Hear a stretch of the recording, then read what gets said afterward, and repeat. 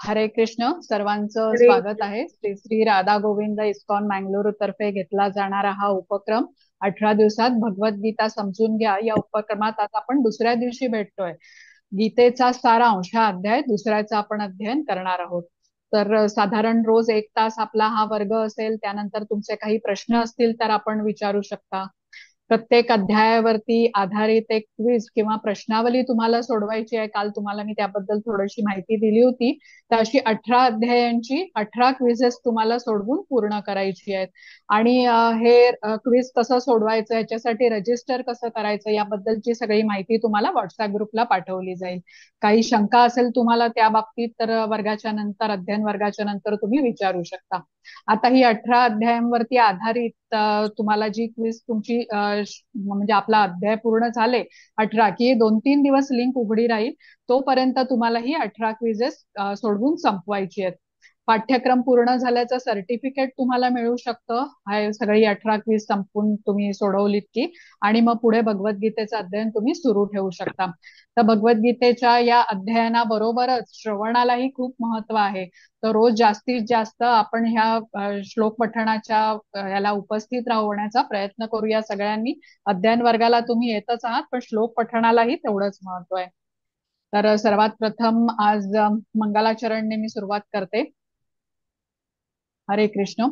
ओम अज्ञानतिमिरान्धस्य ज्ञानाञ्जनशलाकया चक्षुरुन्मिलितं येन तस्मै श्रीगुरवे नमः. श्रीचैतन्यमनोभीष्टं स्थापितं येन भूतले स्वयं रूप कदा मह्यं ददाति स्वपदान्तिकम् हे कृष्ण करुणा सिन्धो दीनबन्धो जगत्पते गोपेश गोपिकाकान्त राधाकान्त नमोस्तुते तप्त गौराङ्गी राधे वृन्दावनेश्वरी वृषभानुसुते देवी प्रणमामि हरिप्रिये। नमः ॐ विष्णुपदाय कृष्णपृष्ठाय भूतले।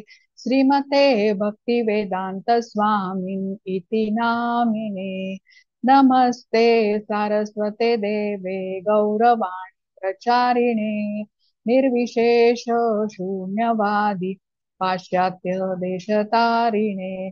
जय श्री कृष्ण चैतन्य प्रभू नित्यानंद श्री अद्वैत गदाधर श्रीवासाती गौर भक्त वृंद हरे कृष्णा हरे कृष्णा कृष्ण कृष्णा हरे हरे। हरे राम हरे राम राम राम हरे हरे। हरे कृष्ण. परत एकदा सर्वांचं स्वागत. सर्वात प्रथम आपण श्रीला प्रभुपाद यांना साष्टांग प्रणाम करूया ज्यांनी आपल्याला समजेल अशा शब्दात भगवद्गीता आपल्याला समजावून सांगितली. त्यांनी लिहिलेल्या साध्या सोप्या भाषेमुळे आपण भगवद्गीतेचं ज्ञान ग्रहण करू शकतोय. श्री श्री राधा गोविंद इस्कॉन मँगलोरचे अध्यक्ष नामानिष्ठदास प्रभूजी यांना सादर प्रणाम. हा अभ्यासक्रम त्यांनी आपल्यासाठी बनवला आणि झूमद्वारे आपला सर्वांना उपलब्ध करून दिला. त्यामुळे घरी बसून आपण या संधीचा लाभ घेऊ शकतो. अन्वय माताजींना प्रणाम करते ज्यांनी मला भगवद्गीता शिकवली प्रत्येक श्लोकाचा सखोल अर्थ समजावून सांगितला. माझा अभ्यास चालू राहावा म्हणून माताजी मला सतत प्रोत्साहन देतात माताजींना प्रणाम. आमच्या सर्वांच्या प्रेरणा पूजा माताजींना प्रणाम करते. आज वर्गाला उपस्थित राहून सेवा देणाऱ्या प्रतिभा माताजी दीपांजली माताजी यांनाही सादर प्रणाम. तसेच वर्गाला उपस्थित असणाऱ्या सर्व भक्तांना सादर प्रणाम आणि सर्वांचं स्वागत. आज आपण अध्याय दुसऱ्याचं अध्ययन करतोय. गीतेचा सारांश असं आजच्या अध्यायाचं नाव आहे. कालचा अध्याय आपण पहिला बघितला त्याचं नाव होतं कोणाला आठवत का? अर्जुन विषाद योग. आपण त्याच्यामध्ये कालच्या अध्यायामध्ये बघितलं होतं. अर्जुनाने पाच कारण दिलेली होती युद्ध न करण्याची. आणि कुठली कारणं दिली होती? कोणी सांगू शकेल का? तुमच्यापैकी कोणाला आठवत आहेत का? प्रयत्न करूया आपण एखादं तरी कारण आठवत आहे का बघू? कोणी करणार का प्रयत्न?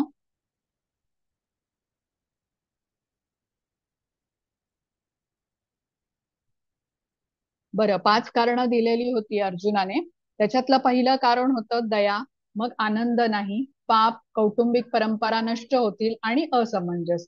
मग आता आजच्या अध्यायामध्ये अर्जुनाच्या या कारणावरती कृष्ण एक एक करून त्याला ज्ञान देणार आहेत त्याचं मार्गदर्शन करणार आहेत. या अध्यायाला गीतेचा सारांश असं का म्हटलं जातं? कारण या अध्यायामध्ये आत्म्याचं ज्ञान आपल्याला दिलं जातं. आत्म्याचे गुणधर्म कृष्ण आपल्याला समजवतात. तसंच कर्म भगवद्गीतेमध्ये चर्चा केलेले कर्मयोग अष्टांग योग भक्ती योग ज्ञानयोग या सगळ्यांची थोडी थोडी ओळख या अध्यायामध्ये करून दिली जाते. जसा एखाद्या सिनेमाचा ट्रेलर असतो तिथे कसं थोड्या थोड्या काय काय आपण बघणार आहोत तसंच आपल्याला ही ओळख करून दिली जाते. आणि मुख्य म्हणजे आजच्या अध्यायापासून कृष्ण बोलू लागतात.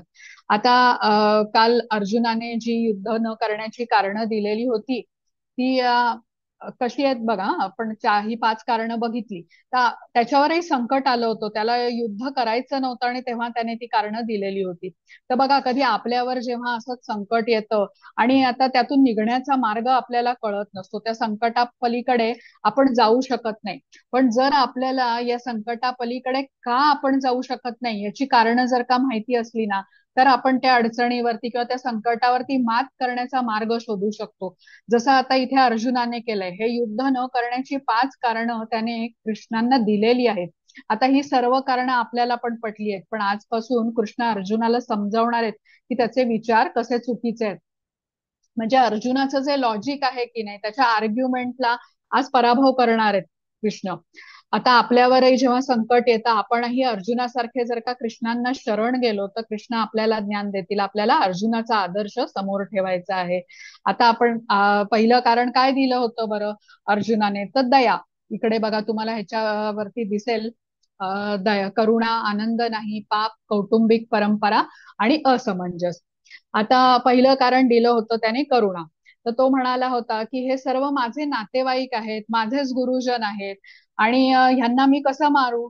तर त्यावेळेला कृष्ण आता ज्ञान देतात. कर्मकांड त्याला सांगतात की तू युद्ध करताना जर का मृत्यू पावलास तुला वीरगती प्राप्त हो, होईल आणि तू स्वर्गामध्ये जाशील. हे त्याला दुसऱ्या कारणावरती सांगितलं. पहिलं कारण त्याने सांगितलं होतं की हे सगळे माझे नातेवाईक आहेत माझे स्वजन आहेत त्यांना मी मारू शकणार नाही. त्यावरती आत्म्याचं ज्ञान दिलं. दुसरं जेव्हा कारण त्याने सांगितलं आनंद नाही आनंद नाही वरती कृष्णांनी त्याला सांगितलं की युद्ध करताना मृत्यू पावलास तर तुला वीरगती प्राप्त होईल तू स्वर्गात जाशील आणि युद्ध जिंकलास तर राज्य राज्याचा राजा बनशील. तर आनंद नसण्याचं काहीच कारण नाही.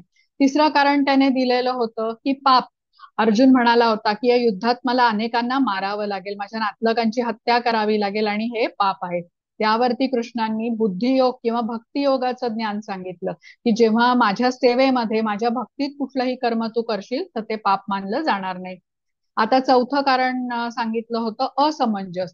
तेव्हा कृष्णांनी त्याला सांगितलं की तुझी बुद्धी कशी आहे? ही अ म्हणजे निश्चयात्मक नाहीये. व्यवसायात्मिका बुद्धी पाहिजे. असमंजसमध्ये तू का आहेस? कारण तू अनेक गोष्टींबद्दलचा विचार करतोयस. आणि हे समजावून सांगताना कृष्णांनी स्थितादर मुनींबद्दल सांगितलेलं आहे. तर स्थिताधीर मुनी कसे असतात? त्यांची लक्षणं काय असतात? ज्याद्वारे आपण समजू शकतो की त्यांची बुद्धी किती निश्चयात्मक आहे आणि हा व्यक्ती स्थिताधीर आहे. आता शेवटचं कारण त्याने दिलं होतं की कौटुंबिक परंपरा नष्ट होतील. यावरचं कृष्णांनी ज्ञान पुढच्या अध्यायामध्ये म्हणजे तिसऱ्या अध्यायामध्ये आपल्याला दिलंय. तर आपण आता आजचा अध्याय सुरू करूया. पहिला श्लोक आहे सातवा श्लोक खूप महत्त्वाचा श्लोक आहे. भगवद्गीतेतला इथून भगवद्गीता आता एक वेगळं वळण घेते असं म्हणायला हरकत नाही. कार्पण्य दोषोपहत स्वभाव पृच्छामी त्वाम धर्म सम्मूढ चेता यश्रेयस्या निश्चितं ब्रूहि तन्मे शिष्यस्तेऽहं शाधि मां त्वां प्रपन्नम। हरे कृष्ण माताजी. हरे कृष्ण माताजी सादर प्रणाम. माझ्या दुर्बलतेमुळे मी माझ्या कर्तव्याबद्दल गोंधळून गेलो आहे आणि माझी मनस्थिती नष्ट झाली. अशा स्थितीत माझ्यासाठी निश्चितपणे सर्वात श्रेयस्कर काय आहे याबद्दल मी तुम्हाला विचारित आहे. मी तुमचा शिष्य आहे आणि तुम्हाला शरण आलो आहे. कृपया करून मला उपदेश करा. हरे कृष्ण माताजी. हरे कृष्ण. आता या श्लोकामध्ये अर्जुन भगवान कृष्णांची शरणागती घेतोय. या श्लोकानंतर कृष्ण आणि अर्जुन या दोघांमधलं मित्राचं नातं बदलून आता गुरु आणि शिष्य असं नातं होणार आहे. गुरु आणि शिष्य यांच्यामध्ये वार्तालाप कसा होतो? गंभीरतेने केला जातो. हा गुरुंच्या आज्ञेचं शिष्य पालन करतो. दोन मित्रांमधील संवाद असा नसतो. तर ही महत्वाची गोष्ट आहे. या श्लोकापासून आता भगवद्गीतेचं स्वरूप बदलतं. एक वेगळं वळण घेते. भगवद्गीता आता महत्वाची गोष्ट आहे जेव्हा आपणही असेच बघा संकटात अडकतो आपल्यालाही शरणागती घेतली पाहिजे. अर्जुन सांगतोय ना की माझ्या दुर्बळतेमुळे मी माझ्या कर्तव्यांबद्दल गोंधळून गेलोय. माझी मनशांती नष्ट झाली आहे आपली ही कधी कधी अशी परिस्थिती होते बघा आपल्या बुद्धीच्या बळावरती आपण आपल्या संकटावर किंवा अडचणींवर मात करू शकत नाही. आपली बुद्धी श्रेष्ठ नाही ह्याच्यातून मार्ग काढायला हे आपल्याला समजतं. याचा स्वीकार आपण प्रथम केला पाहिजे. तरच आपण शरणागती घेऊ शकतो. आता अर्जुन म्हणतोय ना इथे की माझ्यासाठी निश्चितपणे श्रेयस्कर काय आहे हे तुम्ही मला सांगा. आता कालच्या अध्यायात बघा शेवटी तुम्हाला मी श्रेयस आणि प्रेयसबद्दल सांगितलं होतं. श्रेयस म्हणजे काय? तर जे आपल्या अंतिम फायद्याचे आहे आणि प्रेयस म्हणजे काय? जे तात्पुरत्या फायद्याचे. बघा इथे कृष्ण भगवंत आहेत. स्वतः भगवंत अर्जुनाच्या समोर उभे आहेत. परमसखा आहेत त्याचे. आणि मार्गदर्शन करतायत त्याला. पण आपल्यासमोर असे आहेत का कृष्ण? नाहीयेत. म्हणून आपल्याला गुरु साधू आणि शास्त्र यांचा आधार घेतला पाहिजे त्यांची शरणागती घेतली पाहिजे आणि मगच आपण ज्ञान घेतलं पाहिजे. आता कृष्ण स्वतः या भौतिक जगाचे रचयिता आहेत आणि ते वर्णन कसं करतात या जगाचं? की दुःखालयम अशाश्वतम असं म्हणतात. आता कृष्णांनीच हे नाव दिलेलं आहे दुःखालयम अशाश्वतम. आता पुस्तकालय आहे. पुस्तकालयामध्ये काय मिळतं बरं? पुस्तकं मिळतात. तर दुःखालयममध्ये काय मिळणार? निश्चितपणे दुःख मिळणार. आणि कशी मिळणार आहेत? पावलोपावली ही दुःख मिळणार आहेत आपल्याला. असं कोणी आहे का की ज्याच्या जीवनामध्ये अगदी दुःख आलेलीच नाहीयेत? म्हणजे आपल्याला वाटत पण नाही की आपल्या वाट्याला दुःख यावीत म्हणून.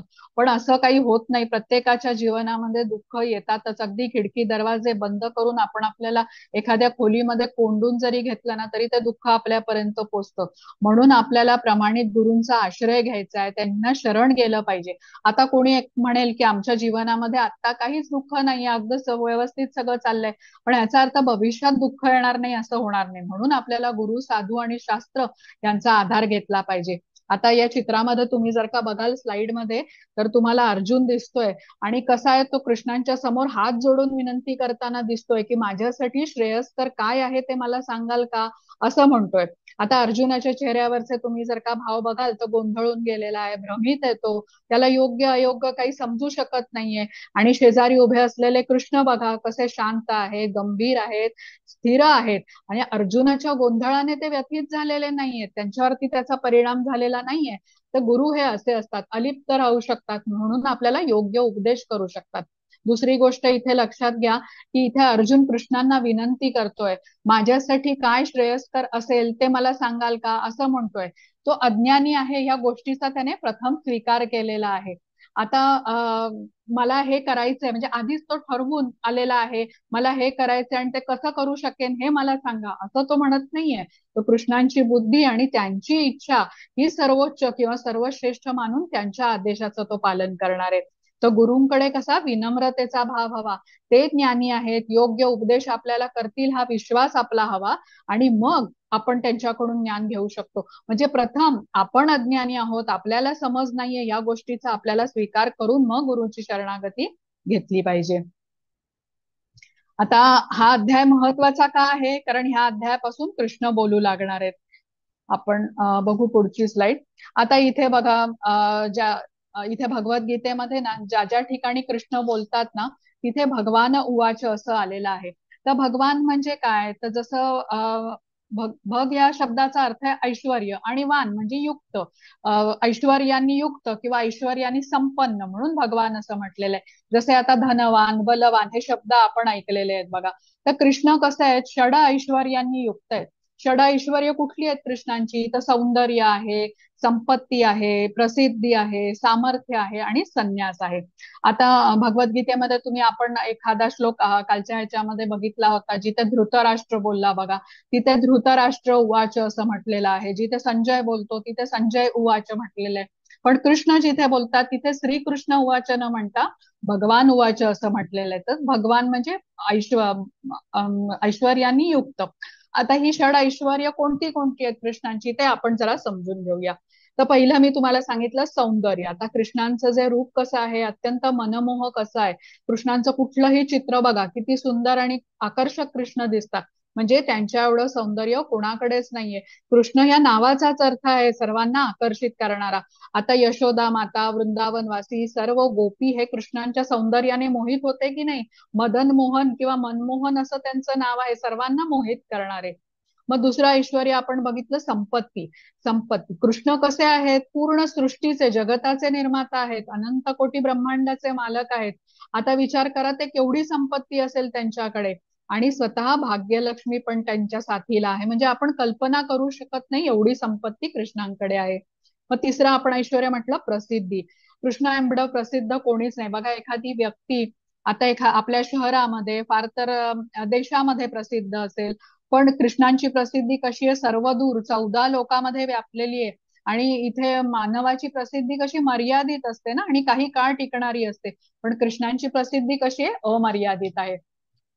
त्याच्यानंतर सामर्थ्य. सामर्थ्य आपल्याला माहिती आहे अगदी त्यांच्या सामर्थ्याच्या कथा आपण कितीतरी ऐकलेल्या आहेत. अगदी लहान असताना त्यांनी अनेक असुरांचा वध केला. गोवर्धन पर्वत आपल्या डाव्या करंगळीच्या वरती तोलून धरला होता सात दिवस सात रात्र त्यांनी. यावरून आपण त्यांच्या घेऊ शकतो. अगदी बाळ असताना त्यांनी पुतनेचा वध केला. पुढे अनेक असे बकासूर आहेत. तो तृणावर्त आहे अघासूर आहे. असे कालिया दमनची गोष्ट आहे. अशा अनेक कथा आपल्याला त्यांच्या सामर्थ्याची कल्पना देतात. पाचवा आहे ज्ञान. पाचवा ऐश्वर्य हे ज्ञान आहे. तर सर्व ज्ञानाचे स्त्रोत ज्याला म्हणून आहे कृष्ण आहेत. आपल्याला सगळं जे ज्ञान मिळतंय हे कृष्णांपासूनच मिळालेलं आहे. सर्व वेद हे कृष्णांपासून आलेले आहेत. आणि सहावं ऐश्वर्य म्हणजे संन्यास किंवा त्याग. आता कृष्णांची ऐश्वर्य आपण बघितली की आपल्याला समजतं की त्यांच्याकडे कुठलीच गोष्ट नाही असं नाही. सौंदर्य आहे प्रसिद्धी आहे सामर्थ्य आहे ज्ञान आहे. म्हणजे सगळंच आणि परिपूर्णतेने त्यांच्याकडे पण ते ह्या सगळ्याच्या पलीकडे आहेत आणि ह्यातून अलिप्त आहेत. आता इथे भौतिक जगामध्ये ना एखाद्या व्यक्तीकडे आपण आकर्षित का होतो? तर या सहा ऐश्वर्यांच्या पैकी काही ऐश्वर काही प्रमाणात आंशिक स्वरूपात त्याच्याकडे असतात. म्हणजे मनुष्याकडे सौंदर्य असेल काही संपत्ती असेल तर ते त्याच्या आकर्षणाचं कारण बनतं. पण कृष्णांकडे ही कशी आहेत बरं ही सर्व ऐश्वर परिपूर्णतेने आहेत आणि एकाच वेळी आहेत. माणसाकडे असताना भौतिक जगामध्ये जी सापडतात ना ती आंशिक स्वरूपात सापडतात हे आपण लक्षात घेऊया. आता ही कृष्णांची ऐश्वर आपण का बरं समजू शकत नाही? म्हणजे त्यांच्या परिपूर्णतेची आपल्याला जाणीव का बरं होऊ शकत नाही? याचं कारण आहे आपली अपूर्ण इंद्रिय. बघा या आपल्या जी इंद्रिय आहेत त्याने आपण जगाचं ज्ञान घेतो. म्हणजे आपण कानाने ऐकतो ध्वनीचं ज्ञान घेतो आपण नाकाने वास घेतो म्हणजे गंधाचं ज्ञान घेतो डोळ्याने आपण बघतो म्हणजे रूपाचं ज्ञान घेतो जिभेने आपण विविध पदार्थांची चव घेतो म्हणजे स्वादाचं किंवा रसाचं ज्ञान घेतो आणि त्वचेने स्पर्शाचं ज्ञान आपल्याला होतं. आता इथे ना चित्रामध्ये एक तुम्हाला पोपट दिसतोय आणि त्या पोपटाच्या मागे तुम्ही बघितलं तर तुम्हाला दूरवर पसरलेलं पाणी दिसतंय. आता त्या पाण्याच्या दुसऱ्या किनारी एक झाड आहे आणि त्या झाडावरती हा पोपट बसलेला आहे. पण आपण इथून जर का पाहिलं तर तो आपल्याला पोपट दिसतोय का नाही? ते झाडही दिसत नाहीये आणि तो पोपटही दिसत नाहीये. म्हणजे आपल्या दृष्टीच्या मर्यादा आहेत. दृष्टीच्या मर्यादित क्षमतेमुळे आपण बघू शकत नाही. आपली इंद्रियांची क्षमताच मर्यादित असल्यामुळे आपण कृष्णांनाही जाणून घेऊ शकत नाही. आता ते लांबचं त्या दुसऱ्या किनाऱ्यावरती असलेलं झाड पाहण्यासाठी आपल्याला दुर्बिणीचा वापर करावा लागतो. आणि तसंच गुरूंचं मार्गदर्शन आपण जर का घेतलं गुरूंचा आश्रय घेतला तर चराचरामध्ये व्यापलेले हे जे कृष्ण आहेत ना हे पाहण्याची आपल्याला दृष्टी मिळू शकते. त्यासाठी कृष्णांची कृपा आपल्यावर व्हावी लागते. आता इथे भगवद्गीतेचा आपण अभ्यास जसा पुढे करू तर आपल्याला समजेल की अकराव्या अध्यायामध्ये कृष्णांनी आपलं विराट रूप अर्जुनाला दाखवलं आणि ते बघण्यासाठी ना दिव्य दृष्टी त्याला बहाल केली. तर लक्षात ठेवूया आपण इथे कृष्णांचे ऐश्वर समजण्यासाठी कृष्णांची कृपा व्हावी लागते. आता एक दुसरं नेहमीचं उदाहरण घ्यायचं झालं आपल्या इंद्रियांच्या मर्यादित क्षमतेचं. तर आपल्या डोळ्याच्या किती जवळ आहेत आपल्या पापण्या किंवा भुवया पण आरशाशिवाय नुसत्या डोळ्यांनी दिसू शकतात का आपल्याला? नाही दिसत. म्हणजेच अपूर्ण इंद्रियांनी आपण परिपूर्णता जाणून घेऊ शकत नाही. म्हणून आपल्याला गुरु साधू आणि शास्त्र याचा आधार घ्यावा लागतो आणि त्याद्वारेच आपण कृष्णांना जाणून घेऊ शकतो. आता ज्या वेळेला आपण म्हटलं की कृष्णांपासून आपण खूप लांब आहोत आपल्या मर्या क्षमता आपण इंद्रियांच्या मर्यादित आहेत पण तरीही आपण भक्त आहोत तर आपल्याला कृष्णांच्या ब्रह्मण स्वरूपाचा साक्षात्कार होऊ शकतो. जेव्हा आपली थोडीशी प्रगती होते तेव्हा आपल्याला कृष्णांचं परमात्मा स्वरूप दिसू शकतं. म्हणजे ज्याप्रमाणे आपण दुर्बिणीचा वापर केला किंवा जवळ गेलो तर ते लांबचं झाड कसं दिसेल? अजून जवळ जाऊ झाडाच्या खाली जाऊन उभं राहू तसं तो झाडावर बसलेला फळ खाणारा पोपट दिसेल आपल्याला. तसंच आपण कृष्णांना तीन स्तरावरती जाणू शकतो. तर पहिला स्तर आहे ब्रह्मण स्वरूप त्याच्यानंतरचा आहे परमात्मा स्वरूप आणि तिसरा आहे भगवान स्वरूप. तर ब्रह्मण स्वरूप म्हणजे या ईश्वर साक्षात्काराचे तीन टप्पे म्हटले जातात याला पहिला टप्पा आहे ब्रह्मण स्वरूप. ब्रह्मण स्वरूप म्हणजे काय? तर कृष्णांच्या तेजाचा प्रकाश असं म्हणूया. कृष्णाभोवतीचं जे तेजोवलय आहे ना ते हे ब्रह्मण आहे. जसं की आता एखाद्या अंधारा खोलीमध्ये आपण प्रवेश केला आपल्याला काही दिसणार नाही. पण जेव्हा खोलीत जाऊन आपण तिथला बल्ब किंवा ट्यूबलाईट लावला तर त्या प्रकाशामध्ये खोलीतील सर्व गोष्टी आपल्याला दिसू लागतील. म्हणजे तो बल्ब किंवा ट्यूबलाईट हा या प्रकाशाचा स्रोत झाला सोर्स झाला. तसंच हे ब्रह्मण कसं आहे? कृष्णांच्या सृष्टीच्या रूपातलं प्रगट एक प्रगटीकरण म्हणता येईल. ब्रह्मण किंवा ब्रह्मज्योती हा त्यांच्या अस्तित्वाचा पहिला टप्पा आहे ज्याच्यामध्ये आपल्याला सर्व काही सृष्टीमधल्या गोष्टी आता दिसू शकतात. आता दुसरा टप्पा दुसरा टप्पा म्हणजे परमात्मा म्हणून. यापुढे आता योगींनी जर का प्रगती केली तर त्यांच्या हृदयामध्ये स्थित असलेले चतुर्भुज नारायण रूपातील भगवंतांचा त्यांना साक्षात्कार होतो. आता हे सर्व सजीवांच्या हृदयस्थळी चतुर्भुज नारायण रूपात भगवंत स्थित असतात परमात्मा स्वरूपात. आणि आपल्या सर्वांच्या ज्या चांगल्या वाईट गोष्टी असतात ते बघत असतात फक्त प्रतिक्रिया देत नाही तर आपण लक्षात ठेवूया इतरांना कळो न कळो आपल्या हृदयामध्ये स्थित परमात्म्याला हे सगळं माहितीये की आपण काय करतो त्यांच्यापासून आपण काही लपवून ठेवू शकत नाही. आणि तिसरा टप्पा साक्षात्काराचा जो भगवान म्हटलेला आहे. जसा एखादा भक्त अजून भक्तीमध्ये प्रगती करेल शुद्ध भक्त बनेल तेव्हा कृष्णांचा श्यामसुंदर रूपाचा त्याला साक्षात्कार होऊ शकतो. आता श्यामसुंदर रूप हे कसं आहे? तर दोन हात दोन पाय श्यामवर्ण हातात बासरी घेतलेलं डोक्यावर मोरपीस असलेलं असं ते कृष्णांचं अत्यंत मनमोहक असं रूप आहे. त्याला श्यामसुंदर रूप म्हटलेलं आहे. आणि ह्याला भगवान रूप म्हटलेलं आहे. तर असे तीन टप्पे आपण बघितले. ब्रह्मण बघितला दुसरा टप्पा परमात्मा आणि तिसरा टप्पा म्हणजे श्यामसुंदर रूप. आता हे जे चित्र तुम्हाला दिसतंय ना स्लाइड वरती ते श्यामसुंदर रूपाचं आहे.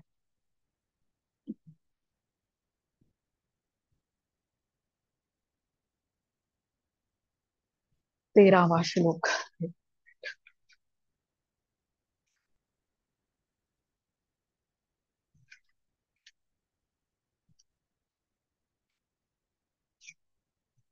हा देहिनो अस्मिन् यथा देहे कौमारं यौवनं जरा तथा देहांतर प्राप्तिर धीरस्तत्र न मुह्यती।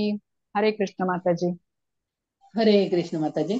ज्याप्रमाणे देहधारी आत्मा अविरतपणे या देहात बालपणापासून तारुण्यात आणि तारुण्यातून म्हातारपणात जात असतो त्याचप्रमाणे मृत्यूनंतर जीवात्मा दुसऱ्या देहामध्ये प्रवेश करतो अशा स्थितांतरामुळे धीर मनुष्य गोंधळून जात नाही. हरे कृष्ण माताजी. हरे कृष्ण. बघा अर्जुनाने पहिलं कारण काय दिलं होतं? दया किंवा करुणा? युद्ध न करण्याचं पहिलं कारण होतं. अर्जुन काय म्हणाला होता? हे सगळे माझे नातेवाईक आहेत माझे स्वजन आहेत. गुरु आहेत माझे मित्र मला दिसत आहेत हितचिंतक दिसत आहेत ह्या कौरवांच्या सैन्यामध्ये आणि मी काही यांना मारू शकणार नाही. आता कृष्ण अर्जुनाला इथे आत्म्याचं ज्ञान देत आहेत अर्जुनाचा दृष्टिकोन कसा आहे? की हे माझे सगळे स्वजन आहेत माझे सगळे संबंधी आहेत. दुर्योधनाचा दृष्टिकोन आपण काल बघितला होता त्याला सत्तेचा उपभोग करायचा आहे. धृतराष्ट्राचा दृष्टिकोन कसा होता? त्याने मामका पांडवाशैव पांडव आणि कौरव अशी त्याने विभागणी केलेली होती पण त्याला सत्तेची लालसा होती. आपण काल ते समजून घेतलं होतं. आणि कृष्णांचा दृष्टिकोन आता आज आपल्याला सांगतोय की कृष्ण काय ज्ञान देत आहेत की सर्व आत्मा आहेत. आता कृष्ण इथे आपल्याला सांगतात की आपलं जे शरीर आहे ना ते सारखं बदलत आहे ते स्लाइडमध्ये तुम्ही चित्र बघा. आता आपण जन्माला येतो हळूहळू आपण मोठे होऊ लागतो चालू लागतो धावू लागतो किशोरवयीन होतो. तरुण होतो आणि मध्यमवयीन होऊन हळूहळू आपण वृद्धत्वाकडे जातो. आता त्यानंतर आपला मृत्यू होतो. पण आपल्या शरीरामध्ये स्थित जो आत्मा आहे ना तो शरीरात होणारे हे सगळे बदल बघत असतो. आता जेव्हा आपला मृत्यू होतो त्यावेळेला काय आत्मा शरीर हे शरीर त्यागून दुसऱ्या शरीर धारण करतो आणि परत लहान बाळाच्या स्वरूपात जन्माला येतो आणि हा प्रवास सतत चालू असतो. आता जो धीर मनुष्य आहे ना तो ह्याचा त्रास करून घेत नाही. हे निसर्ग चक्र आहे आणि कोणालाही चुकलेलं नाहीये. हा खूप महत्त्वाचा श्लोक आहे. इथे कृष्ण सांगताय की हे सत्य आहे आणि आपण ह्याचा गोंधळून न जाता स्वीकार करायचा आहे आता या चित्रामध्ये बघा शरीराचं वय वय तुम्हाला वाढलेलं दिसतंय पण त्या छातीच्या ठिकाणी चमकणारा जो आत्मा आहे ना तो मात्र तसाच आहे. म्हणजे शरीर वृद्ध जरी झालं तरी आत्मा वृद्ध झाला का? तर नाही. आता आपला एखादा लहानपणीचा फोटो बघा आपण किती वेगळे दिसतो किंवा वृद्ध झाल्यावर अजून वीस वर्षांनी किती वेगळे दिसू पण त्यामध्ये स्थित आपण हे बदललोय का? तर नाही. म्हणजे शरीर बदललं पण आत्मा नाही बदलला. आता वृद्ध झाला एखादा व्यक्ती की कसा त्याचा मृत्यू होतो. त्यावेळेला आत्मा काय करतो? ते शरीर सोडून दुसरा शरीर धारण करतो. म्हणजे शरीराचा नाश जरी झाला तरी आत्म्याचा नाश मात्र होत नाही हे लक्षात घेऊया इथे. आत्मा एक वेगळा शरीर धारण करून दुसरा प्रवास सुरू करतो. अगदी जुनी जीर्ण वस्त्र बदलून दुसरी वस्त्र घालावीत तसंच आहे. आणि जन्मल्यापासून वृद्ध होईपर्यंत शरीराचं वय वाढतं पण आत्म्याचं वय वाढत नाही. आता एखाद्या वृद्ध व्यक्तीने विचार केला की लहान होता त्या शरीर लहान असताना जसं शरीर होतं त्या शरीरात मी परत जाईन तर ते शक्य आहे का? असं होत नाही. आपण बघा चौऱ्याऐंशी लक्ष योनीचा प्रवास करून आपल्याला हे मनुष्य शरीर मिळालेलं आहे. किती शरीर आपण घेतली असतील आता पाण्यात राहणारे जीव आहेत सरपटणारे प्राणी आहेत हिंस्त्र प्राणी आहेत वाघ सिंह वगैरे सारखे कुत्रा गाय मांजर असा अनेक आणि अनेक वर्षांचा आपला प्रवास चालला होता. त्यानंतर आपल्याला हा मनुष्य जन्म मिळालाय. आणि केवळ आणि केवळ ह्या जन्मातच आपल्याला कृष्णाबद्दलचं ज्ञान प्राप्त करून घेण्याची संधी आहे. आता इतर कुठल्याही शरीरात हे आपण करू शकत नाही म्हणून मनुष्य जन्माला खूप भाग्याचा म्हटलं जातो. तर इथे कृष्ण अर्जुनाला सांगतायत की तू मारलं जरी नाहीस तरी त्यांचं कौरवांचं शरीर हे नष्ट होणारच आहे. म्हणजे शरीराचा नाश निश्चित आहे. तू मारलं नाहीस तर कोणीतरी अजून कौरवांना मारेल. आता बघा एखादा पक्षी आपण पिंजऱ्यामध्ये आणून ठेवला आणि पिंजरा अगदी सोन्याचा बनवला सुंदर सजवला पण त्या पक्षाकडे मात्र काहीच लक्ष दिलं नाही. तो पक्षी त्याच्यामध्ये आनंदी राहील का? नाही म्हणजे त्याची योग्य काळजी घेतली नाही तर पक्षी आनंदी समाधानी असणार नाही. तसंच हा आपला आत्मा आहे. हा पक्षासारखा आहे. त्या शरीरामध्ये तो बंद आहे. नुसतीच शरीराची देखभाल केली. चांगलं खाल्लं चांगले कपडे घातले तर आत्म्याला त्याने समाधान मिळेल का?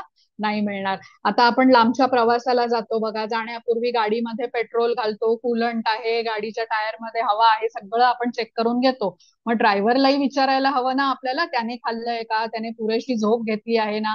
म्हणजे ड्रायव्हरची योग्य काळजी घेतली तर तो गाडी आपली नीट चालवेल आणि आपल्याला ज्या ठिकाणी घेऊन जायचंय तिथपर्यंत अगदी व्यवस्थित पोहोचवेल आपल्याला. तसंच हा आत्मा हा कसा आहे? कृष्णांचा अंश आहे.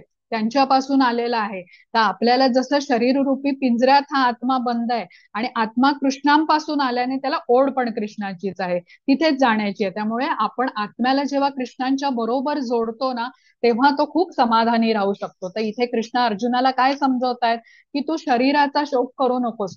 तुझी दया ही शरीरापुरती आहे. जे नश्वरच आहे. आता एखादा व्यक्ती पाण्यात बुडत असेल आणि त्याला मदत करायला आपण जातोय तर आपण त्याला वाचवणार का? त्याचे कपडे महागडे असतील म्हणून ते कपडे वाचवू आपण? तसं आहे ती गोष्ट. तर कृष्ण इथे सांगतात की तू आत्म्याकडे बघ. अर्जुनाला त्यांनी समजवलं आत्म्याकडे बघ तू शरीराचा शोक करू नकोस. आता इथे एक महत्वाची गोष्ट लक्षात घ्यायची आपल्याला की आत्मा शाश्वत आहे शरीर नाश पावतो म्हणून आपण कोणा कोणालाही मारू शकतो किंवा हत्या करू शकतो का? असा अर्थ घ्यायचा नाहीये. एखाद्या आत्म्याचा त्या शरीरा तो आत्मा त्या शरीरामध्ये किती काळ राहणार आहे हे कृष्ण ठरवतात. पशु पक्षी मानव हे सर्वांच्यासाठी आहे. म्हणून आपण कोणाची हत्या करायची नाही हे पाप आहे. कृष्णांच्या इच्छेला आपल्याला इथे मान द्यायचा आहे.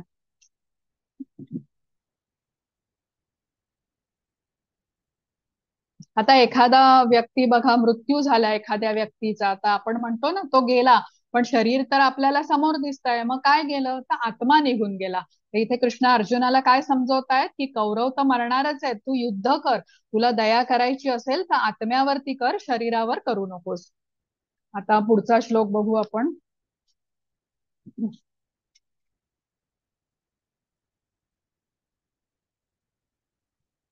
नैनम छिंदन्ति शस्त्राणी नैनम दहती पावकः।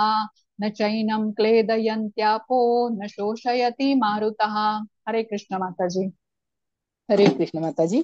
या आत्म्याने कोणत्याही शस्त्राद्वारे तुकडे करता येत नाहीत. अग्नीद्वारे त्याला जाळता येत नाही. पाण्याद्वारे त्याला भिजवता येत नाही. तसेच वाऱ्याने त्याला सुकवताही येत नाही. हरे कृष्ण माताजी। हरे कृष्ण. बघा या श्लोकामध्ये काय सांगितलंय कृष्णांनी? आत्मा कसा आहे? आत्म्याचे गुणधर्म इथे सांगितलेले आहेत आपल्याला. फायर प्रूफ आहे वॉटर प्रूफ आहे म्हणजे त्याला जाळू शकत नाही ओला करू शकत नाही. आपलं शरीर कसं आहे? पंचमहाभूतांनी बनलेलं आहे. पंचमहाभूतांनी बनलेलं शरीर म्हणजे पृथ्वी जल अग्नी वायू आणि आकाश. आता आत्मा कसा आहे? आत्मा अतिशय सूक्ष्म आहे खूप छोटा आहे. आत्म्याचा आकार केवढा सांगितलेला आहे? तर केसाच्या टोकाचा दहा दहा हजारावा भाग. बघा केसाच्या टोकाचा दहा हजारावा भाग म्हणजे केवढा सूक्ष्म आहे. आता अर्जुनाने काय कारण दिलंय की मला युद्धामध्ये अनेकांची हत्या करावी लागेल आणि हे पाप आहे. तर कृष्ण त्यावर उत्तर देत आहेत त्याला समजवत आहेत की आत्म्याचे कुठल्याही अस्त्राने शस्त्राने तुकडे करू शकत नाही. आत्म्याला तुम्ही जाळू शकत नाहीस तू. आत्म्या भिजव भिजवला जाऊ शकत नाही वाऱ्याने त्याला सुकवता पण येत नाही. आता इथे अर्जुन कृष्णांना म्हणतो की मी हे शरीर नाही मी आत्मा आहे.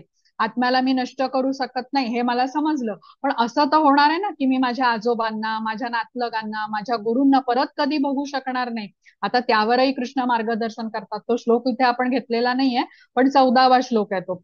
तर काय सांगतात कृष्ण इथे की योग्य कर्तव्य पालनासाठी एखाद्याने अनित्य असणाऱ्या सुख दुःखाचे म्हणजे सुख दुःख किंवा विनाश सहन करायला शिकलं पाहिजे. आता उदाहरण घेऊया. ऋतुचक्र असतं बघा. ऋतुचक्रामध्ये आपल्याला माहितीये वसंत ऋतू येतात झाडाला नवीन पालवी फुटते.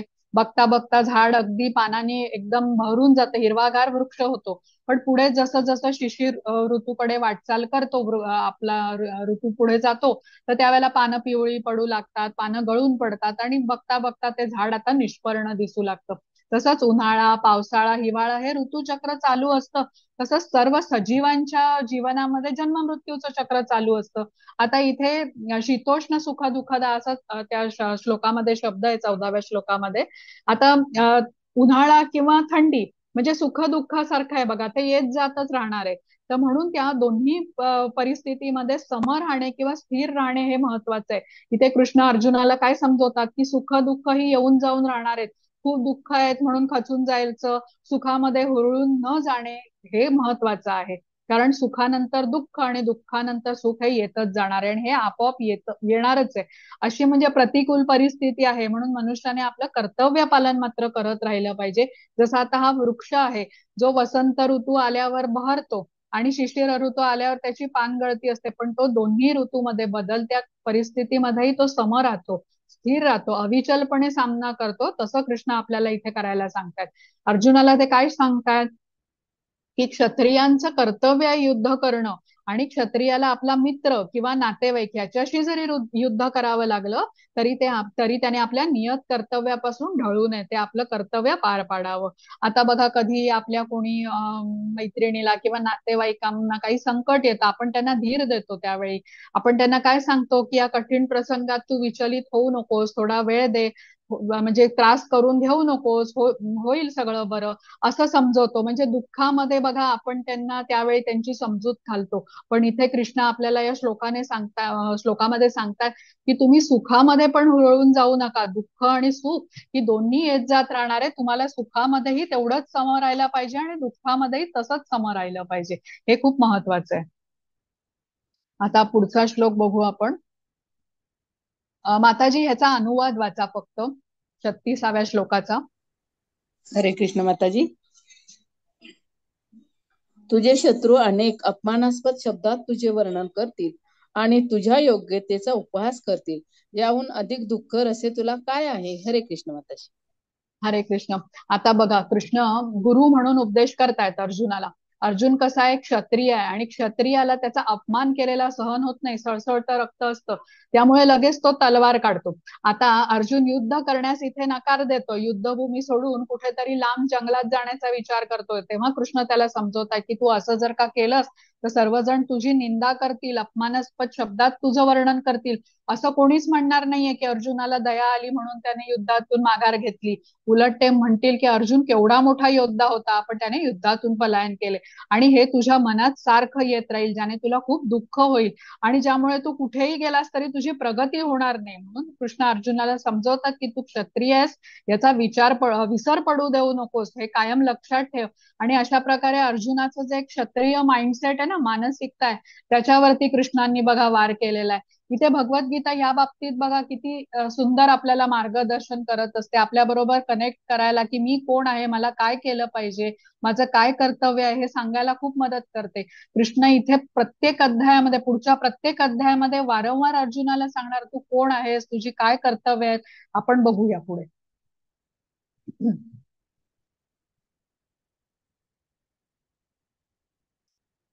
हा आता सवा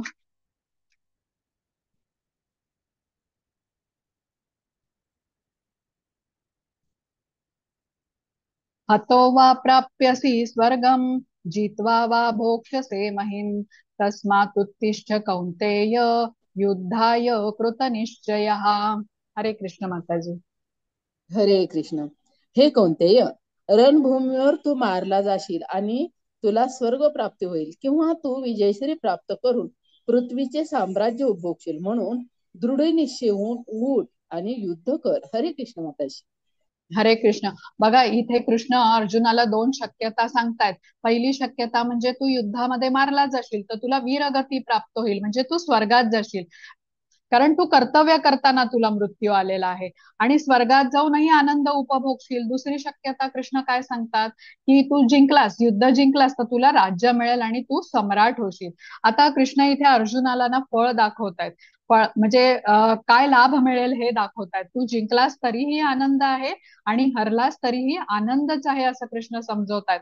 आता कृष्ण अर्जुनाला काय सांगतायत की तुला वाटतंय की युद्ध न करण्यात तुझा आनंद आहे पण युद्ध केलं नाहीस तर तुला घाबरट किंवा युद्धातून पलायन केलेला असं म्हटलं जाईल. आणि जर का युद्ध करताना मृत्यू पावलास तर तुला निश्चित स्वर्ग प्राप्ती होईल. म्हणजे आनंदच आहे आणि जिंकलास तर तू राजा बनशील. म्हणजे तिथेही आनंद आहे. त्यामुळे तुला आनंद नाही असं म्हणण्याचं काहीच कारण नाहीये. आता इथे कृष्ण सांगतात बघा तस्मात उत्तिष्ठ कौंतेय म्हणजे तू उठ आणि युद्धाला तयार हो. दृढ निश्चयाने युद्ध कर. आता एखादा व्यक्ती बघा कसा विचार करत असेल मनुष्य एखादा की मी रिटायर झालो तर मी मी भगवद्गीतेचं अध्ययन करेन तेव्हा मी जप करेन भजन करेन. तर हे म्हणजे कसं मी एखादी गोष्ट जी आज करू शकते ती पुढे ढकलल्यासारखं आहे. इथे बघा कृष्ण अर्जुनाला समजवत आहेत की तू तुझं कर्तव्य कर दृढ निश्चयाने युद्धासाठी तयार हो. म्हणजे कृष्ण भक्तीमध्ये असं कुठेच नाहीये की घरी बसायचं कर्तव्य करायची नाही असं कुठेही नाहीये. इथे कृष्णांनी गुरु म्हणून अर्जुनाला जे पटवून दिलेलं आहे की युद्ध करण्यामध्ये कर्तव्याचं पालन करण्यामध्येच त्याचा आनंद आहे हे आपण लक्षात घेऊया. म्हणून आपल्याला गुरु हवेत बघा जे आपल्याला आपल्या मनाच्या बाहेरचा विचार जो चुकीचा असेल आपण केलेला मनाने विचार योग्य असेलच असं नाही. गुरु आपल्याला योग्य ते मार्गदर्शन करतात ते महत्त्व आहे गुरूंचं. पण पुढचा श्लोक बघू तिथे. हा चाळीसावा श्लोक. नेहाभिक्रमण नाशोस्ती प्रत्यवायो न विद्यते स्वल्पम अपि अस्य धर्मस्य त्रायते महतो भयात। हरे कृष्ण माताजी। हरे कृष्ण माताजी। या प्रयत्नात कोणतेही नुकसान किंवा राहस नाही आणि या मार्गातील अल्प प्रयत्नेही प्रयत्न प्रगतीने मनुष्याने मोठ्या भयंकर भयापासून संरक्षण होऊ शकते. हरे कृष्ण माताजी। हरे कृष्ण. बघा तिसरं कारण दिलं होतं अर्जुनाने युद्ध न करण्याचं की युद्धामध्ये मला अनेकांची हत्या करावी लागेल. आणि हे पाप आहे. आता इथे कृष्ण अर्जुनाला सांगतात की तू माझ्या सेवेत माझ्या भक्तीमध्ये हे काम करतोयस तेव्हा ही सेवा म्हणून धरली जाणार आहे. इथे लिहिलंय ना या प्रयत्नात कोणतेही भय किंवा ऱ्हास नाही आणि या मार्गातील अल्प प्रगतीनेही मनुष्य मोठ्या भयंकर मनुष्याचे मोठ्या भयंकर भयापासून संरक्षण होऊ शकते. तर मनुष्यासाठी सगळ्यात भयंकर भय कुठलं? तर इथे श्रीला प्रभुपाद आपल्याला सांगतात की अधपतनाचं भय. म्हणजे पुढच्या जन्मामध्ये निम्न प्रजाती किंवा प्राण्यांच्या शरीरात जन्म होणे हे सगळ्यात भयंकर भय आहे. कारण या निम्न शरीरामध्ये प्राण्यांच्या शरीरामध्ये आपण कृष्णांच्या बाबतीत पूर्ण विस्मरणात असतो. आता अगदी आपल्या आजूबाजूचे कुत्रे मांजर किंवा गाय वगैरे बघा हिस्त्र पशु पण घेऊ शकत नाही कृष्णाचं नाव. म्हणजे पूर्ण विस्मरणात असतात. तर फक्त मनुष्य जन्मामध्येच आपल्याला कृष्णांचं स्मरण करण्याची संधी आहे. म्हणून मनुष्य जन्मामध्ये आपल्या बुद्धीचा वापर करून आपण कृष्णांबद्दलचं ज्ञान प्राप्त करून घेऊ शकतो. अधपतन किंवा अधोगती हे सगळ्यात मोठं भय त्यासाठी म्हटलेलं आहे. पण आता या मनुष्य जन्मामध्ये आपण कृष्ण भक्तीमध्ये थोडी जरी प्रगती केली तरी या अधपतनाच्या भयापासून आपलं मात्र संरक्षण होऊ शकतं. म्हणजे भक्ती मार्गामध्ये पास किंवा फेल असं होत नाही. आता हनुमानांचं उदाहरण घेऊया. बघा त्यांनी लंका जाळली. कित्येक असुर त्या आगीमध्ये मेले. मग त्यांना पाप लागलं का? तर नाही कारण त्यांनी प्रभू रामचंद्राच्या सेवेमध्ये हे कार्य केलेलं होतं. किंवा बिभीषण जो रावणाचा भाऊ होता त्याने प्रभू रामचंद्रांची शरणागती घेतली. रावणाला धोका दिला म्हणून त्याला देशद्रोही म्हणतात का? तर नाही बिभीषण प्रभू रामचंद्राच्या सेवेमध्ये कार्य करत होता म्हणून बिभीषणाचा कोणी देशद्रोही म्हणत नाही त्याला. आजही तो वंदनीय आहे आणि हनुमानांची तर जय जयकार आज होत आजही होतोच म्हणजे. तर लक्षात घेऊया इथे. तर म्हणून कृष्ण काय सांगतायत अर्जुनाला की युद्ध कर तू. आता भौतिक जगामध्ये कसं असतं बघा? आपण एखादी एखाद्या विद्यार्थी जेव्हा असतो ते परीक्षा देतो तर त्यावेळेला ती डिग्रीची परीक्षा देत असताना त्या परीक्षेचे सगळे पेपर त्याला पास करावे लागतात क्लिअर करावे लागतात. तेव्हा त्याला ती डिग्री प्राप्त होते. पण इथे आध्यात्मिक जगतामध्ये तसं नाही. आता जटायू आहे जटू जटायूने रावणाला थांबवण्याचे खूप प्रयत्न केले. पंख पण त्याचे छाटले गेले त्या प्रयत्नामध्ये. पण प्रभू रामचंद्रांनी त्याला तू नापास झालास असं म्हटलंय का? नाही उलट त्यांनी त्याचे अंतिम संस्कार केले. त्याला सांगितलं की तुला परत जीवनदान देतो. पण जटायू म्हणाला की तुमच्या हातातून माझा उद्धार झाला आता मला काही नको. तर भगवंत नेहमी प्रयास बघतात आपले. आणि प्रयत्नामध्ये मग आपले पंख जरी जटायू सारखे छाटले गेले तरी भगवंत आपल्याला आशीर्वाद देतात किंवा उद्धार करतात. आता ह्याचा अर्थ असाही होत नाही की आपण भक्ती करतो म्हणून चुकीची कर्म आपण करायची कृती करायची कुठली. असं नाहीये. आपल्याला गुरु साधू आणि शास्त्र या तिघांचाही त्या कृतीला संमती असणं आवश्यक आहे. आणि म्हणून इथे अर्जुन अर्जुनाला कृष्णांनी सांगितलंय की तू युद्धामध्ये कौरव सेनेला जरी मारलंस तरी हे पाप होणार नाही. कारण माझ्या आदेशामध्ये माझ्या सेवेमध्ये तू कार्य करतोयस आणि त्यात कुठलंही पाप नाहीये. आता कौटुंबिक परंपरा नष्ट होतील. हे त्याने कारण दिलेलं होतं चौथं कारण होतं. तर याबद्दलचं आपण उद्याच्या अध्यायामध्ये तिसऱ्या अध्यायामध्ये अधिक विस्ताराने जाणून घेऊ. पण थोडंसं सांगते. युद्धामध्ये ज्येष्ठ व्यक्ती आता मारल्या जातील. अर्जुनाला शंका होती.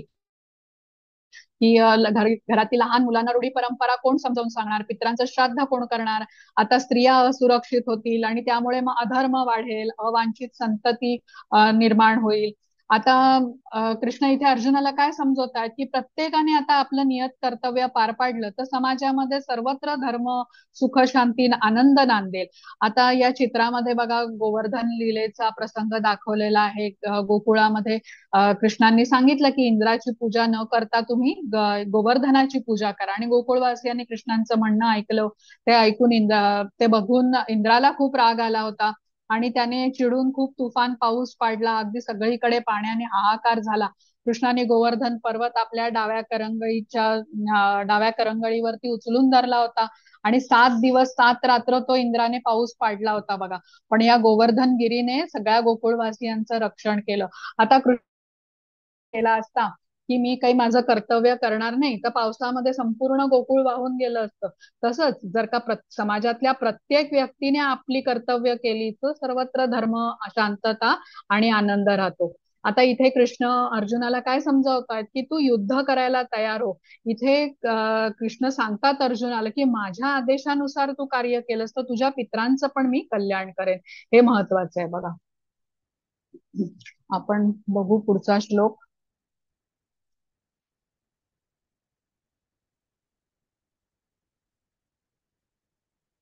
एक्केचाळीस व्यवसायात्मिका बुद्धी एके हे नंदन बहुश्च बुद्धयो व्यवसायीनाम. हरे कृष्ण माताजी. हरे कृष्ण माताजी. जे या मार्गावर असतात त्यांची बुद्धी दृढ निश्चय असते आणि त्यांचे देह एक असते. हे प्रिय कुरुनंदन जे डळमळीत वृत्तीचे असतात त्यांच्या बुद्धीला अनेक फाटे फुटलेले असतात. हरे कृष्ण माताजी. हरे कृष्ण. अर्जुनाचं अंतिम कारण होतं बघा असमंजस. त्यावरती कृष्णांनी केलेलं हे मार्गदर्शन आहे. आता सातव्या श्लोकामध्ये आपण बघितलं कार्पण्य दोषोपहत स्वभावामध्ये की अर्जुन कृष्णांची शरणागती घेतो. तो म्हणतो की तुम्ही माझे गुरु आहात आणि मला उपदेश करा. आता कृष्ण सांगतायत की मी गुरु म्हणून तुला उपदेश करतोय तर तुला आता गोंधळून जाण्याची गरज नाही. श्रीला प्रभुपादांबद्दल आपण जेव्हा काल जाणून घेतलं होतं काल तर त्यावेळेला त्यांचे गुरु भक्ती सिद्धांत सरस्वती यांनी त्यांना सांगितलं होतं की तुम्ही पाश्चात्य देशात जाऊन कृष्ण भक्तीचा प्रसार करण्याचा त्यांना आदेश दिलेला होता. तर त्यांच्या मनात काही शंका होती का श्रीला प्रभुपादांच्या? तर नाही प्रभुपाद आपल्या गुरूंचा आदेश तंतोतंत त्यांनी पाळला. आता जेव्हा आपण गुरूंचा असा आश्रय घेतो ना तेव्हा आपल्या मनातील साऱ्या शंका आणि प्रश्न दूर होतात. म्हणून कृष्ण अर्जुनाला काय सांगतायत की मी तुझा गुरु म्हणून तुला उपदेश करतोय. तर तेव्हा तू माझं माझी आज्ञा पाळ. मी जसं सांगेन तसंच कर. तुझे सारे असमंजस दूर होतील. याला म्हणतात काय? व्यवसायात्मिका बुद्धी. म्हणजे एका गोष्टीवरती फोकस करायचं. निश्चयात्मक बुद्धी. अर्जुनाच कसा विचार करतोय की त्याला दया पण आहे. त्याला तो म्हणतोय की मला आनंद नाही. इथे हत्या करावी लागेल. हे पाप आहे. परम कौटुंबिक परंपरा नष्ट होतील अशी त्याची बुद्धी निश्चयात्मक नाहीये. तो अनेक गोष्टींचा विचार करतोय. म्हणून कृष्ण त्याला काय समजवतायत? की गुरु म्हणून मी जे तुला करायला सांगतोय ते तू कर. आता इथे चित्रामध्ये एक गोष्ट आहे बघा द्रोणाचार्यांची गोष्ट आहे. की एकदा सर्व कौरव आणि पांडवांना द्रोणाचार्य बोलवतात आणि सांगतात की एका झाडावरती पक्षी टांगलेला आहे. त्या पक्षाच्या डोळ्यामध्ये तुम्हाला नेम धरायचा आहे. मग एक एक करून सगळेजण पुढे येतात. द्रोणाचार्य प्रश्न विचारतात की तुम्हाला काय दिसतंय? तर कोणी सांगतं मला आकाश आकाश दिसतंय कोणी सांगतं झाड दिसतंय कोणी सांगतं ते झाडाच्या फांद्या फळं फुलं वगैरे असं दिसतंय. दुर्योधन हेही सांगतो आणि म्हणतो गुरुजी मला तुम्ही पण दिसत आहात. पण जेव्हा अर्जुन येतो तेव्हा तो काय सांगतो मला फक्त पक्षाचा डोळा दिसतोय. तर द्रोणाचार्य मग त्याला आता सांगतात की तू धनुष्य उचल आणि आता नेमधर तर बघा अर्जुन हा कसा होता? निश्चयात्मक होता. त्याचं लक्ष किंवा जो ध्येय आहे ना ते त्याला माहिती होतं. पण आता त्याचं एकच ध्येय नाहीये. त्याच्या बुद्धीला अनेक फाटे फुटलेले आहेत. म्हणतोय करुणा नंतर म्हणतो आनंद नाही परंपरा नष्ट होतील अशा बहुशाखा बुद्धी त्याची झालेली आहे. मग आता बहुशाखा बुद्धी बघा आपली पण असते. म्हणूनच आपण कृष्णांकडे पोचू शकत नाही. बुद्धीला अनेक पाटे फुटलेले असतात अनेक ध्येय असतात. त्यातलं एक ध्येय आपलं असतं की कृष्णांची भक्ती करायची. मग याला व्यवसायात्मिका बुद्धी किंवा निश्चयात्मक बुद्धी म्हणत नाहीत. ज्यावेळी आपली पण निश्चयात्मक बुद्धी होईल की मला फक्त कृष्ण भक्ती करायची आहे त्याला निश्चित आपल्याला कृष्णांची प्राप्ती होऊ शकते. आता आपली परिस्थिती ही अशीच आहे अर्जुनासारखी. अनेक ध्येयांच्या पैकी आपला एक ध्येय आहे कृष्णांच्या जवळ जायचं. तर आपल्याला इथे लक्षात ठेवलं पाहिजे.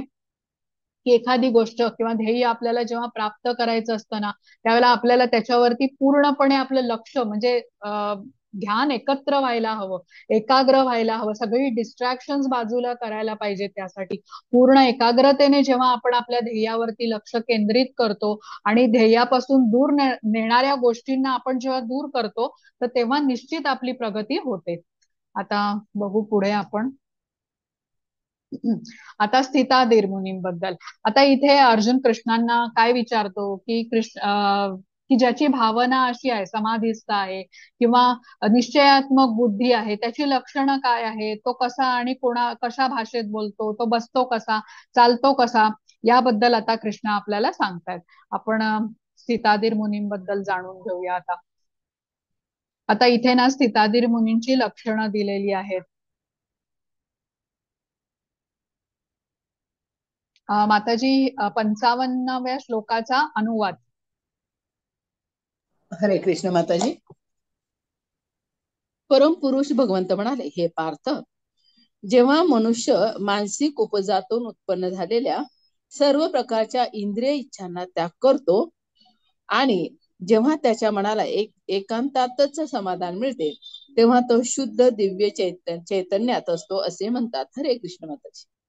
हरे कृष्ण. आता स्थिताधीर मुनी कसा असतो? आणि तो सर्व प्रकारच्या इंद्रियांचा त्याग करतो असं म्हटलेलं आहे. कृष्ण इथे कुठेही सांगत नाहीत आपल्याला की तुम्ही गृहस्थाश्रमामध्ये राहू नका नोकरी करू नका व्यवसाय करू नका पैसे कमवू नका मित्रमंडळींबरोबर कुठे जाऊ नका असं सांगत नाहीयेत आपल्याला. पण कृष्ण काय सांगतायत? की तुम्ही इंद्रिय तृप्तीच्या मागे जाऊ नका. इथे चित्रामध्ये प्रल्हाद महाराजांचं चित्र दिलेलं आहे स्थिताधीर मुनी म्हणून. आता प्रल्हाद महाराजांचे वडील हिरण्य कश्यपू किती अत्याचार केले त्यांनी प्रल्हादावरती. कारण का? प्रल्हाद त्यांना सर्वश्रेष्ठ मानत नसे. प्रल्हाद नारायणाला सर्वश्रेष्ठ मानत असे. आणि हिरण्य कश्यपूला या गोष्टीचा खूप राग होता. त्याच्या ती अनेक अत्याचार त्या कारणासाठी झाले मारायचा प्रयत्न झाला. पण प्रल्हाद कसा होता? स्थिताधीर मुनी होते. प्रल्हादचं लक्ष मन केवळ नारायणावरती स्थिर होतं. त्याला ज्ञान होतं की मी शरीर नसून आत्मा आहे. त्यामुळे विषारी सर्प हत्ती अग्नी याच्या सगळ्यांचा सामना करावा लागला पण त्याला काही झालं नाही. आता एवढ्या त्रासात पण प्रल्हाद अगदी शांत चित्त होता कारण ते स्थिताधीर मुनी होते. आता इथे चित्रामध्ये होलिकेच्या बरोबर बसवलंय पण नारायणावरती मन स्थिर असल्यामुळे अग्नीचा उष्मा पण त्यांना जाणवू शकला नाही. आता स्थिताधीर मुनींचं दुसरं उदाहरण आपण शिला प्रभुपादांचं घेऊ शकतो. आपल्यासाठी किती कष्ट घेतले बघा त्यांनी. अनेक ही पुस्तकं लिहिली जहाजातून अमेरिकेला जात असताना हृदयविकाराचे त्यांना झटके आले. पण तरी त्यांनी भागवत धर्माचा प्रसार केला आपल्या गुरुच्या आदेशाचं पालन केलं आणि गुरूंनी आणि कृष्णांनी त्यांचं रक्षण केलं. आता हे एवढं मोठं कार्य त्यांनी वयाच्या सत्तराव्या वर्षाच्या नंतर केलेलं आहे बघा. तर आजही भगवद्गीतेचं जे आपण अध्ययन करतोय ते श्रीला प्रभुपादांनी आपल्याला इतकी सोप्या शब्दांमध्ये समजावून सांगितलेली आहे म्हणूनच करू शकतोय. तर श्रीला प्रभुपाद हे पण एक सीताधीर मुनींचं उदाहरण आहे. आपण श्रीला प्रभुपादांना जिथे आहोत तिथून साष्टांग प्रणाम करूया. आता पुढचं आपण स्लाइड बघू.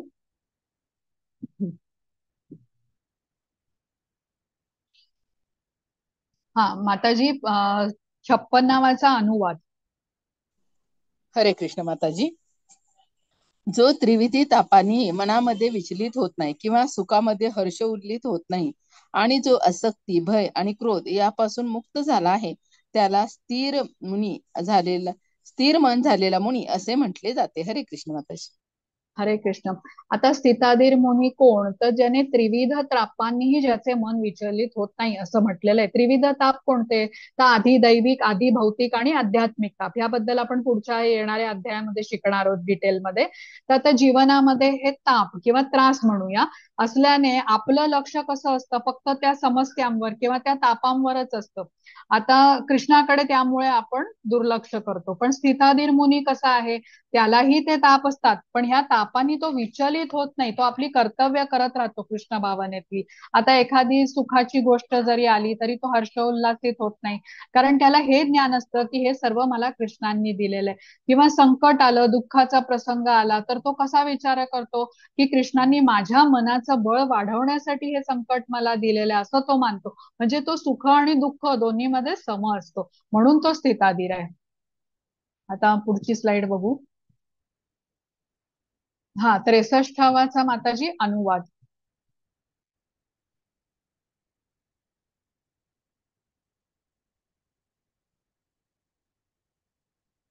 हरे कृष्ण माताजी. ज्याप्रमाणे कासव आपले अवयव आपल्या कवचात आवरून घेते त्याचप्रमाणे जो आपल्या इंद्रियांना इंद्रिय विषयातून आवरून घेतो तो पूर्ण चेतनेमध्ये दृढपणे स्थिर होतो. हरे कृष्ण माताजी. हरे कृष्ण.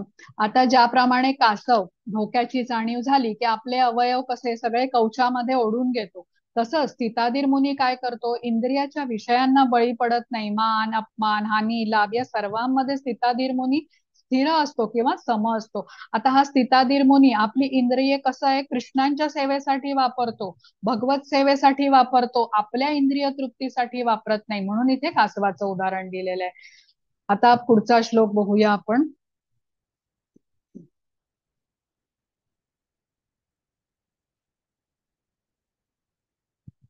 माताजी बहात्तरावाचा अनुवाद.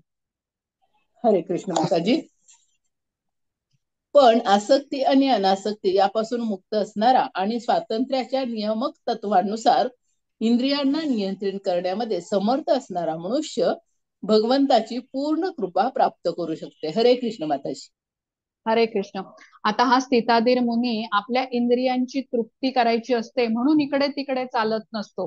तर तो कृष्ण भावना सगळ्यांना देण्यासाठी चालत असतो. बघा आता आपलं उदाहरण घ्या. आपण अनेक ठिकाणी जातो. मार्केटमध्ये जातो ऑफिसात जातो दुसऱ्या गावी जातो दुसऱ्या देशात पण जातो. पण आपला उद्देश काय असतो? इंद्रिय तृप्तीचा असतो. मला हे बघायचंय मला ते खायचंय मला ते विकत घ्यायचंय असा असतो.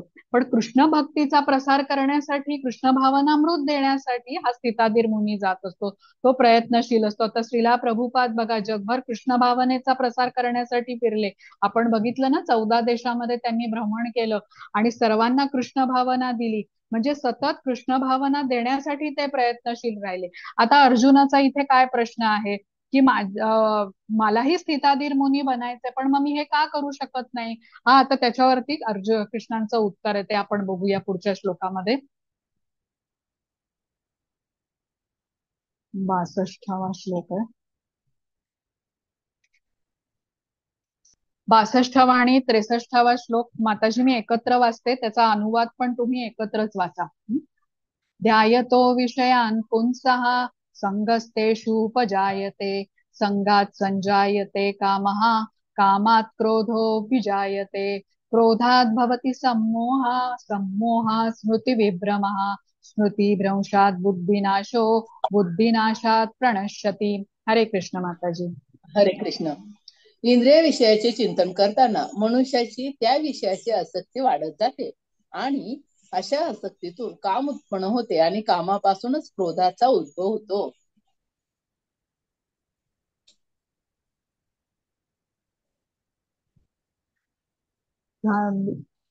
त्रेसष्टाचा आपण वाचा माताजी हो. शेअर कर. ते नाहीये स्लाइड नाहीये माताजी. हा आहे आहे एक मिनिट हा. हरे कृष्ण. क्रोधापासून समूह निर्माण होतो आणि भ्रमित होते.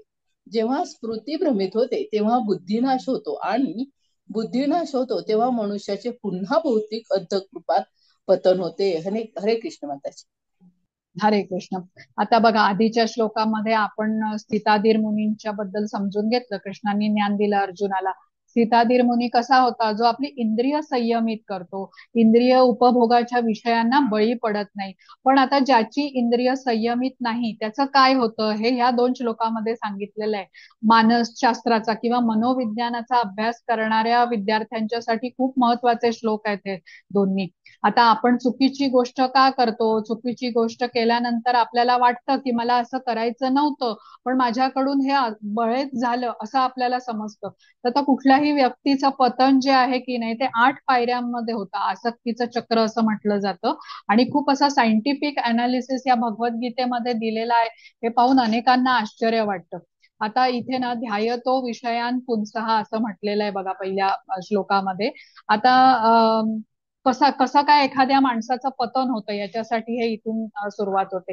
ध्याय तो विषयान पुंचा म्हणजे काय एखाद्या इंद्रिय तृप्तीच्या विषयाचं किंवा इंद्रिय आसक्तीच्या विषयाचं तो चिंतन करतो विचार करतो.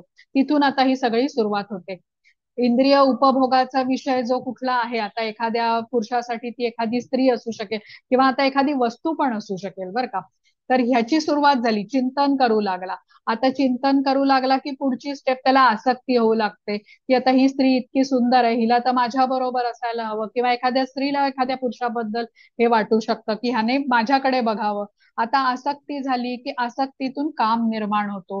काम म्हणजे काय? की आपल्याला शास्त्रामधून अर्थ समजून घ्यायचा आहे बॉलिवूड फिल्म्स मधला अर्थ नाहीये. शास्त्रामध्ये काय दिलेलं आहे? की एखादं कार्य आपण आपल्या इंद्रिय तृप्तीसाठी जेव्हा करतो ते काम झालं. कृष्णांच्या तृप्तीसाठी जेव्हा करतो तेव्हा ते प्रेम झालं. आता उदाहरण घ्यायचं तर म्हणजे माझ्याकडे दहा साड्या आहेत. पण मला एक अकरावी साडी पण घ्यायची आहे का? तर मला ती साडी खूप आवडली तिचा रंग आवडला त्याचं डिझाईन खूप आवडलं. इथे आता ही मी माझ्या इंद्रियांचा विचार करते मला आवडलं. ह्याच्यामध्ये या विचारामध्ये कुठेही कृष्णांचा विचार नाहीये. तर हे काम झालं. आता काम हे कसं आहे? कधीच न संपणार आहे. म्हणजे किती पण पूर्ण करा भौतिक इच्छा कधी नाही संपत ना आपल्याला माहितीये संपूर्ण जीवन पण एखादी व्यक्ती आपल्या इच्छा पूर्ण करण्यामध्ये लागून राहिली तरी दिवस रात्र भोग केला तरीही ते काही पूर्ण होत नाही संतुष्टी तर त्याला मिळतच नाही काम कधीही शांत होत नाही संतुष्टी ही आत्म्याची वृत्ती आहे. आता चौदाव्या अध्यायामध्ये आपण गेल्यानंतर बघा रजोगुणातून उत्पन्न झालाय हा काम तेव्हा आपण अजून डिटेलमध्ये शिकूया. पण आता ज्या वेळेला एखादा व्यक्ती असं विचार करतो ज्या इंद्रिय विषयांच्या बद्दलचा विचार करतो चिंतन करतो. मग आता त्याला आसक्ती निर्माण झाली आसक्तीतून काम निर्माण झाला. आता ही काम म्हणजे ही इच्छा पूर्ण करण्यामध्ये जेव्हा बाधा येते इच्छेप्रमाणे ते पूर्ण होत नाही त्यावेळेला क्रोध उत्पन्न होतो. आता क्रोधाने काय होतं? तो क्रोधात भवती समूह असं म्हटलेलं आहे. क्रोधामुळे मनुष्य भ्रमित होतो. भ्रम झाल्याने त्याला स्मृती विभ्रम होतो. तो विसरतो. परिस्थितीचा विसर पडतो त्याला.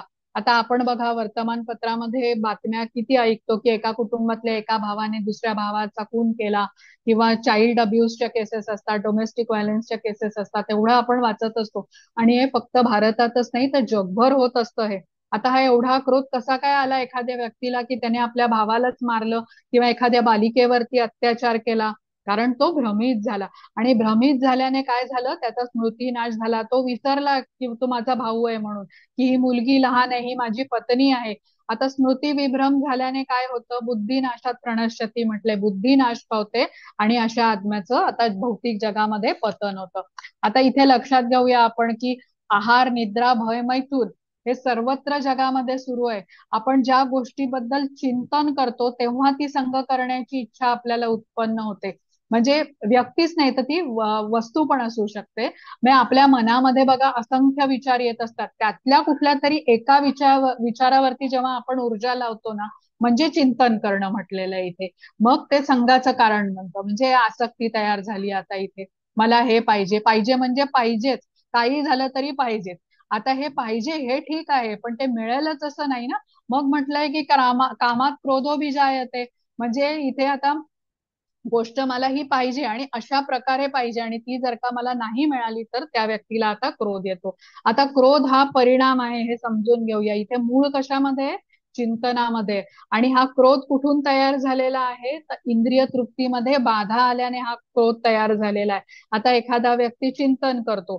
कारण तो विचार करत असतो की मला ही एक गोष्ट जी मला आवडते ती मला अतिशय आनंद देईल. आता प्रत्येकाची ही गोष्ट जी आनंद देणारी आहे ती वेगवेगळी असू शकते. बघा एखाद्या व्यक्तीसाठी कपडे विकत घेणं असू शकतं. कोणाला दागिना एखादा हवा असतो कोणाला गाडी घेणं असेल किंवा कोणासाठी ती एखादी व्यक्ती पण असू शकेल. एखाद्या पुरुषाला मला वाटेल की आमची स्त्री मला मिळावी असं पण ते असू शकेल. आता दुसरी गोष्ट एक समजून घेऊया बघा. आपण कधी कधी विचार करतो ना कुठल्या तरी एका ह्या माणसामुळे मला राग आला. तर आता हा हे दोन्ही श्लोक समजून घेतल्यानंतर आपल्याला समजतं की कुठल्याही दुसऱ्या व्यक्तीची आपल्याला क्रोध देण्याची क्षमता नसते. कोणाचं सामर्थ्य नाही आपल्याला क्रोधित करणं. आसक्ती आपण निर्माण करतो आणि ती पूर्ण न झाल्याने आपल्याला क्रोध येतो. म्हणजे इंद्रिय विषयांचं चिंतन प्रथम आपण करू लागतो. मग काम आणि इंद्रिय तृप्तीची इच्छा निर्माण झाली इथून सुरुवात झाली आणि यापुढे ती घसरगुंडी आहे सगळी. आता प्रथम विषयांचं आपण चिंतन करतो. आसक्ती होते संग करण्याची इच्छा होते. जसं एकोपाठोपाठ एक हे होत जातं आणि मग व्यक्तीचं पतन होतं आणि अंधकाराच्या तो दिशेने जातो. याला आसक्तीचं चक्र म्हटलंय बघा. इथे ह्याच्यामध्ये आपल्याला दाखवलंय स्लाइडमध्ये. आता एखाद्याने या चिंतनाला प्रारंभीच आळा घातला तर पुढील पतनापासून तो वाचू शकतो. म्हणजे एखाद्या साधकासाठी हा खूप महत्त्वाचा श्लोक आहे की इच्छा नसेल एखाद्या व्यक्तीला तर आपण ते करणारच नाही बघा. हा तर तसंच इच्छा नसे असेल तर मात्र मनामध्ये काम निर्माण होईल. आणि एकदा काम निर्माण झालं की ते नियंत्रणात आणणं कठीण. काम निर्माण झाली मनामध्ये आलेले व्यक्ती विचार कशी करते की ही भोगवस्था प्राप्त करूनच मला सुख मिळेल आनंद मिळेल नाहीतर मी सुखी होणारच नाही. आता खरं तर या भौतिक जगामध्ये कुठलीही भोगवस्तू मला सुखी करेल हा माणसाचा भ्रम आहे. पण ज्याला हे समजलं तो या आसक्तीच्या चक्रात कधीही अडकणार नाही. आता मानसशास्त्राचा अभ्यास करणाऱ्या लोकांना हा संशोधनाचा विषय आता पुढच्या वेळी असा झालं की आपल्याला माहितीये की आपण काहीतरी चुकीचं वागतोय तरी पण आपण ते करतो. तेव्हा समजायचं की आपण ऑलरेडी या आठ पायऱ्या पार केलेल्या आहेत.